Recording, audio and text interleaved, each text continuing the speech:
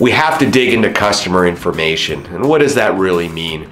We have to say, are we churning customers? Are we losing accounts? Are they leaving? Is there something happening uh, that we need to fix uh, to plug a leaky boat? And of course, alternatively, are there any upsell opportunities in current client lists? We need to take a little bit of time, dig around, see what we have, and, and can we grow our business through current accounts?